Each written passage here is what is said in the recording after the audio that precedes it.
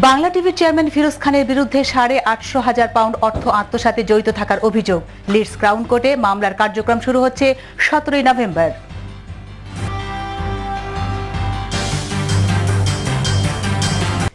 একটি কর্পোরেট ব্যাংকের তথ্য জালিয়াতি করে সাড়ে আটশো হাজার পাউন্ড অর্থ আত্মসাতের সঙ্গে জড়িত থাকার অভিযোগে ওয়েস্ট ইয়র্কশায়ার পুলিশের ফ্রড স্কোয়াড, বাংলা টিভির চেয়ারম্যান ফিরোজ খান সহ একটি চক্রের বিরুদ্ধে মামলা দায়ের করেছে। শুক্রবার এই মামলার শুনানি অনুষ্ঠিত হয়। লিডসের ক্রাউন কোর্টের চার নম্বর কক্ষে অনুষ্ঠিত শুনানিতে উপস্থিত ছিলেন ফিরোজ খান সহ অর্থ জালিয়াতি চক্রের সঙ্গে জড়িত অভিযুক্ত বাকি সদস্যরা। ক্রাউন প্রসিকিউশন সার্ভিসেসের পক্ষ থেকে ফিরোজ খানের বিরুদ্ধে এককভাবে সাতাশি হাজার পাউন্ড অর্থ জালিয়াতির অভিযোগ সহ পাঁচটি অভিযোগ আনা হয়। আদালত আগামী সতেরোই নভেম্বর মামলার কার্যক্রম শুরুর ঘোষণা দেন। এমজি কিবরিয়া আলিমের সহযোগিতায় বিস্তারিত জানাচ্ছেন ফারহান মাসুদ খান। শুক্রবার ওয়েস্ট ইয়র্কশায়ার পুলিশের ফ্রড স্কোয়াডের দায়ের করা অর্থ আত্মসাৎ সংক্রান্ত একটি মামলায় জামিনে থাকা ফিরোজ খান লিডস ক্রাউন কোর্টে হাজির হন সকাল সাড়ে দশটায়। একটি কর্পোরেট ব্যাংকের তথ্য জালিয়াতির মাধ্যমে প্রায় সাতাশি হাজার পাউন্ড হাতিয়ে নিয়েছেন ফিরোজ খান।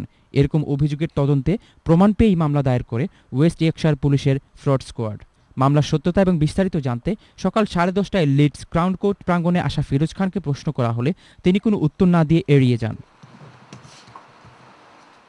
দুপুর সাড়ে বারোটায় লিডস ক্রাউন কোর্টের চার নম্বর রুমে মামলার কার্যক্রম শুরু হলে ফিরোজ খান নিজেকে নির্দোষ দাবি করলেও আদালত তার জামিন বহাল রেখে আগামী সতেরোই নভেম্বর মামলার কার্যক্রম শুরু হওয়ার ঘোষণা দেন। কোর্টের আনুষ্ঠানিকতা শেষে ফিরোজ খানকে এ বিষয়ে তার প্রতিক্রিয়া জানতে চাওয়া হলে তিনি নিশ্চুপ থাকেন। একটা মিনিট একটা কমেন্ট করবেন, একটা কমেন্ট সিঙ্গেল কমেন্ট এই কেসটা সম্পর্কে আপনি তো বেল পাইলেন। কেসটা সম্পর্কে আপনার কোনো কমেন্ট আছে? বেল পাওয়ার পরে? তার আইনজীবী এ বিষয়ে কোনো তথ্য দিতে অস্বীকৃতি জানান। ক্রাউন প্রসিকিউশন সূত্রে জানা যায়, মোট তিনটি তারিখে ফিরোজ খানের অ্যাকাউন্টে জমা হওয়া এইটি সেভেন থাউজেন্ড পাউন্ডের জালিয়াতির অভিযোগেই মামলাটি দায়ের করা হয়।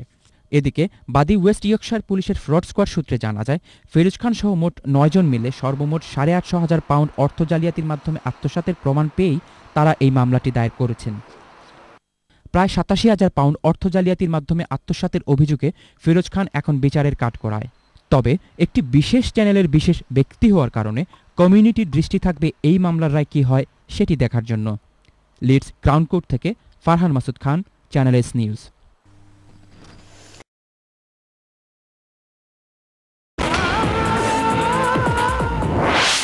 Channel S, working for the community.